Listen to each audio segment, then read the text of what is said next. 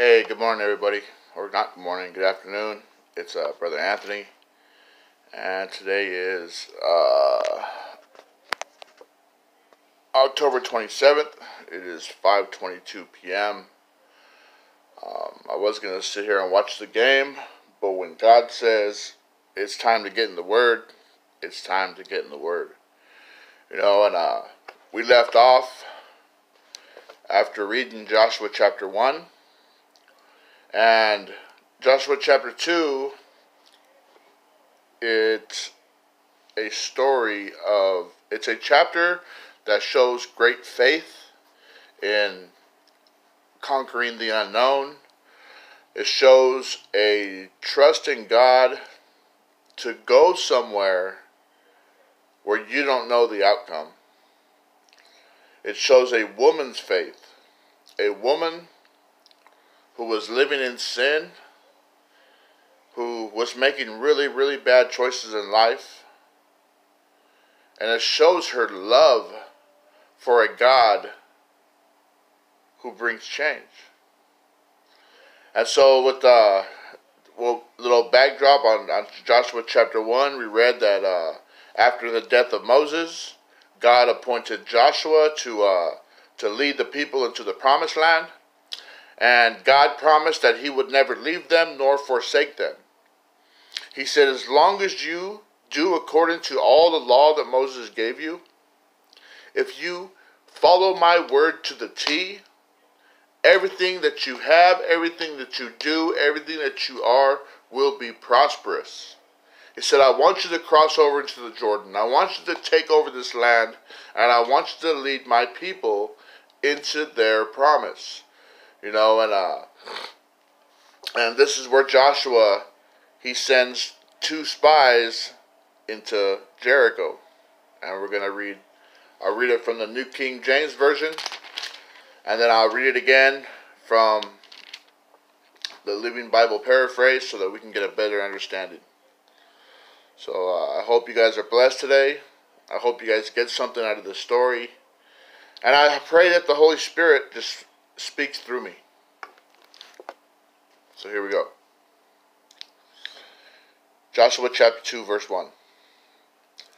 Now Joshua the son of Nun sent out two men from Acacia Grove to spy secretly, saying, Go, view the land, especially Jericho. So they went and came to the house of a harlot named Rahab, and lodged there. And it was told the king of Jericho, saying, Behold, men have come here tonight from the children of Israel to search out the country. So the king of Jericho sent to Rahab, saying, Bring out the men who have come to you, who have entered your house, for they have come to search out all the country. Then the woman took the two men and hid them. So she said, Yes, the men came to me but I did not know where they were from. And it happened as the gate was being shut when it was dark that the men went out. Where the men went, I do not know. Pursue them quickly, for you may have may overtake them. But she had brought them up to the roof and hidden them with the stalks of flax, which she had laid in order on the roof. Then the men pursued them by the road to the Jordan to the fords, and as soon as those who pursued them had gone out, they shut the gate. Now before they lay down, she came up to them on the roof and said to the men, I know that the Lord has given you the land, that the terror of you has fallen on us, and that all the inhabitants of the land are faint hearted because of you. For we have heard how the Lord dried up the water of the Red Sea for you when you came out of Egypt and what you did to the two kings of the Amorites who were on the other side of the Jordan, Sihon and Og, whom you utterly destroyed. And as soon as we heard these things, our hearts melted. Neither did there remain any more courage in anyone because of you. For the Lord your God, He is God in heaven above and on earth beneath. Now therefore I beg you, swear to me by the Lord, since I have shown you kindness, that you also will be kind though you also show kindness to my father's house.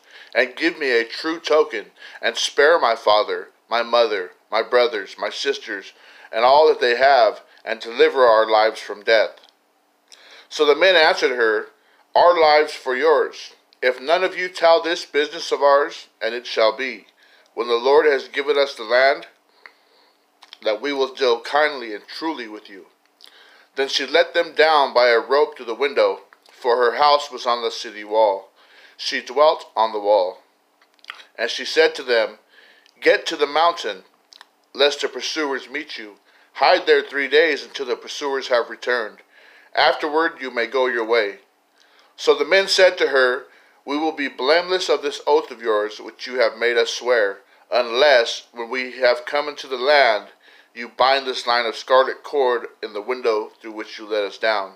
And unless you bring your father, your mother, your brothers, and all your father's household to your own home, so it shall be that whoever goes outside the door of your house in the street, his blood shall be on his own head, and he will be guiltless.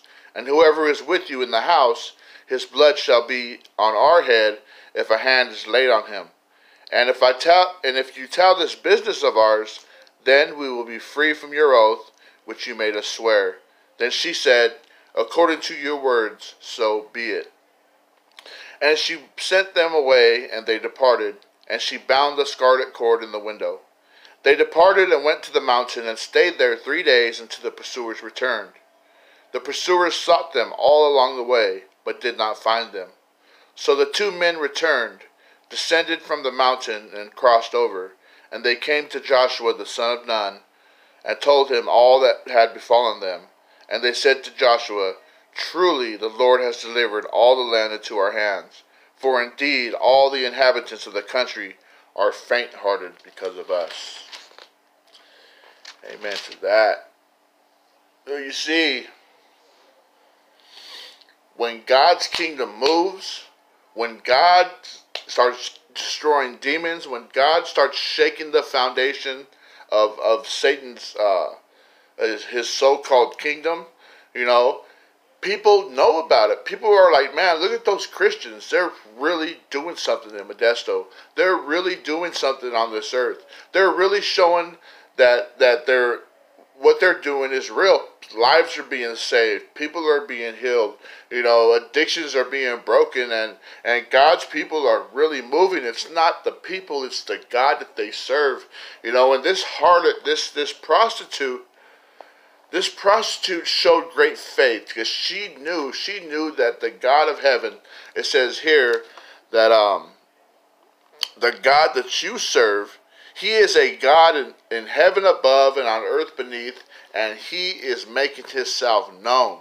You know, and that's the God that we serve. Our God is making Himself known. Our God is, is showing people that lives can be changed.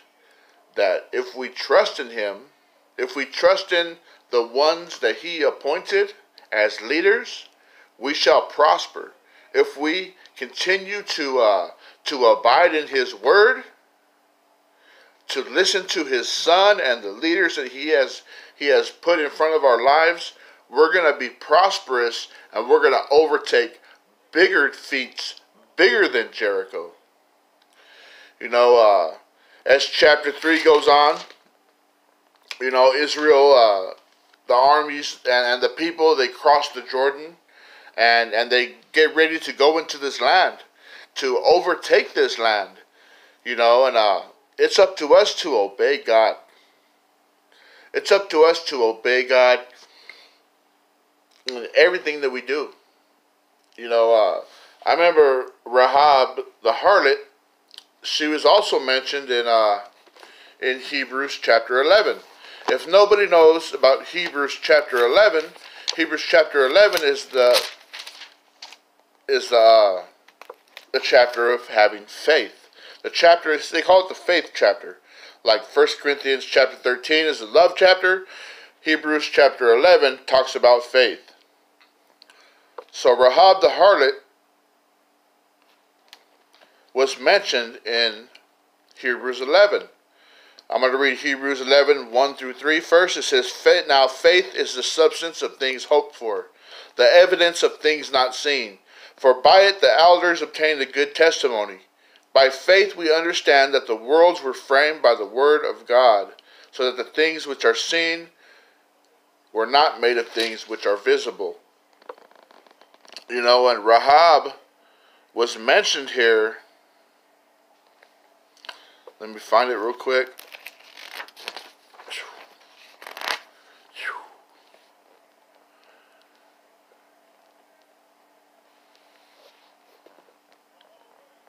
Talks about right here in verse 30 and 31. By faith, the walls of Jericho fell down after they were encircled for seven days. By faith, the harlot Rahab did not perish with those who did not believe, but she had received the spies' peace. And what more shall I say? For the time would fail me to tell of Gideon and Barak and Samson, you know, and uh, and God doesn't, He doesn't overlook the trust that you have in Him. He doesn't overlook the faith that you have in Him. He doesn't overlook the work that you're doing for His kingdom, you know, and He doesn't overlook anything that you do. If you think that you're serving God and the things that you're doing are in vain, just know that God is writing this stuff down. He's keeping tabs and He's going to bless you for just trying. If you try and you fail, God's going to encourage you to get back up and try it again. You know, because He's not a, a God who will push you away because you because you stumbled. No, He's a God that loves you. He died for you. He died for me. He died for everybody so everybody can have that blessing. You know, um, I know this video seems like I'm a little more pumped up than, than from 5 in the morning because, hey, it's 5 in the afternoon. But I hope someone is ready to uh, to move mountains, who is ready to go into unknown places, places they've never been before. It's time for us Christians to get out of our comfort zone. It's time for us Christians to go out and, and be a light into the world. You know, not just to be stuck in a living room, but actually to go out and reach the people. Because God's people, there, there's, there's a lot of people in need. There's a lot of people who are suffering. There's a lot of people who need to hear your words of encouragement and who need to know that there is change, that change is possible. I'm going to go ahead and skip the uh, Living Bible paraphrase. I love this Bible, but I don't want to keep you guys too much tonight. So, until we read Joshua chapter 3, just keep your mind focused on the Word. You know, what a great uh, sermon we had today at House of Rest. It was such a blessing to be able to know that everything that I'm saying, everything that I'm doing in my life, Pastor David spoke about. Every blessing that I'm getting, Pastor David confirmed that I'm on the right track. You know, and and that's a blessing to know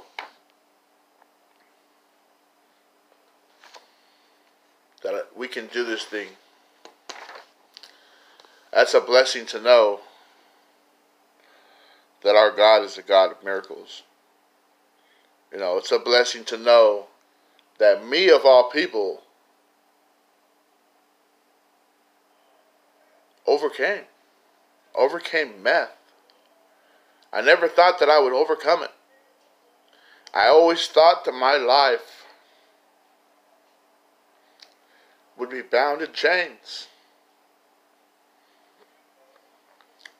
I always believed that I was going to be the failure of my family.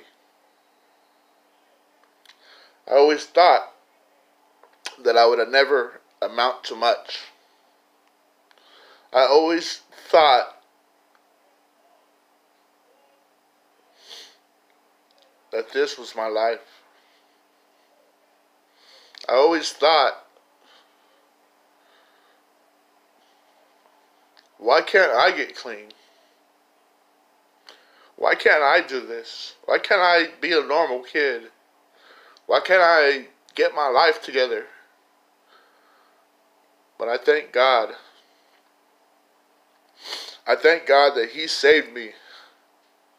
I thank God that He brought freedom and, and joy and peace into my life. And I thank God that I don't have to live that way no more. And I thank God that He planted my feet upon solid ground. You know, uh, sorry for tearing up right here, but God has delivered me.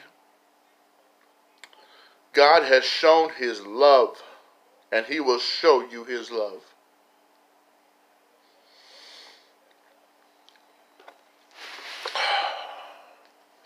Let me read this. Do you wonder? Do you wonder where you can go for encouragement and motivation? Go back to that moment when you first saw the love of Jesus Christ.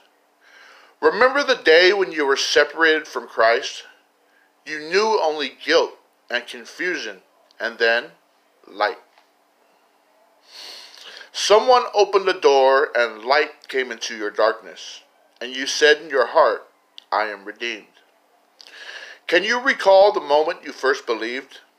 You felt a flame in your heart that was dancing so hot that you knew even death couldn't put it out. Is that flame still there? If it is, then fan it. Bring it to life. Stand face to face with the only hope that earth, this earth knows. Jesus described for his followers what he came to do. He came to build a relationship with people. He came to take away enmity, to take away the strife, to take away the isolation that existed between God and man. Once he bridged that, he overcame that. He said, I will call you friends. I've noticed that those who serve God most joyfully are the ones who know him most personally. Those who are quickest to speak about Jesus are those who realize how great how great has been their own redemption. God is an exalted friend, a holy father, and an elevated king. How do we approach him? As king, as father, or as friend? The answer is yes. All those. Let's pray out. Heavenly Father, I continue to magnify you and thank you for the life that you have given me. I thank you for the joy, the peace. I thank you for things to finally be going right in my life. When so long, Lord, things have went wrong. When so long, Lord, things did not go right. Father, I trust in you. Father, I love you. Father, I praise you. Father, I thank you, Lord God, for showing me that there is a better way. That just as your word promised, that I will be a new creation in you. That I can stand on you, stand on that firm foundation, and when the winds and storms of life come, I will not fall. And Father God, I've been through the storm, Lord.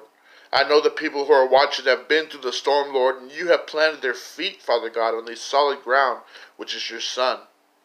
I pray that you continue to help us build this foundation and, and fortify our walls and protect ourselves from the evil one, Lord God, because he knows he is running loose, seeking whom he may devour. But we are covered. We are covered in your Son. We are covered in your love. And nothing, nothing he throws at us can can will prosper. No weapon formed against us shall prosper. But we shall have that victory in your Son. I love you, Father. I thank you for the people who are watching. I pray for my brother Michael, Michael Trejo in, in, in Los Angeles, that you would just touch his life, Father God. I pray for my sister Victoria that you'll bless her household, that you'll run rampant through her house and, and take away any any form of ugliness and drug addiction and and protect her and her children, Father God. I pray for peace. for anyone who is suffering. I love you, Father, and I praise you. In Jesus' name, amen. All right, brothers and sisters, it's time to relax and watch this game. Turn this TV on. Hopefully, the Chiefs aren't beating us too bad. Well, God bless you, and I'll see you guys next time. Have a good day.